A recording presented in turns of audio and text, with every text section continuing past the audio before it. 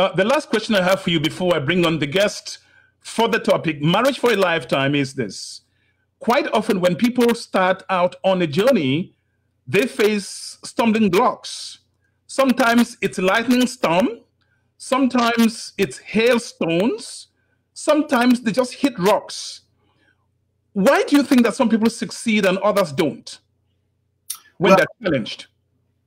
Well, I can tell you, uh, just in, in every relationship, uh, I have children and I've been married for a long time now. Uh, what I would tell you that what tears apart most relationships, especially marriages, is that people people have to learn to keep their problems to themselves. Now, let me give you an example.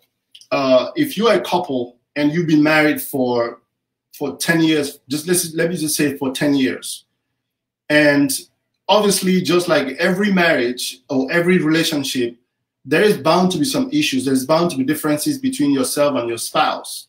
And uh, and if you imagine that in a household where brothers and sisters they do disagree, and can you imagine you you both of you are complete strangers, you meet and now you have cohabiting in one in, in, in the same house. There's bound to be some differences between yourself and, and your spouse.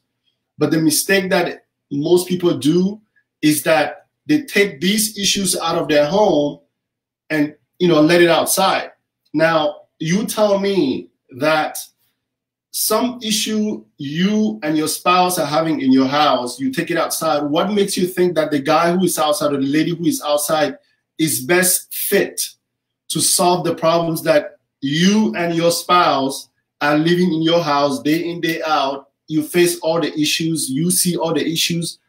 Now you get someone who is who doesn't live with you, who doesn't know exactly what's happening in your household, and now this person is in the middle of your problem trying to solve their, your issues, whereas they have their own issues they can't even they can't even solve.